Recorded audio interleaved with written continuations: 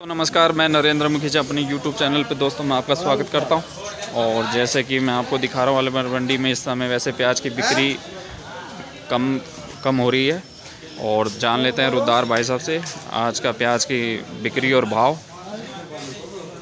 नमस्कार रुदार जी। नमस्कार जी। तो आज का जैसे आवक और भाव अलवर मंडी की क्या रही प्याज के बीच की? आवक तो कल ही आई थी तीन गाड़ियाँ।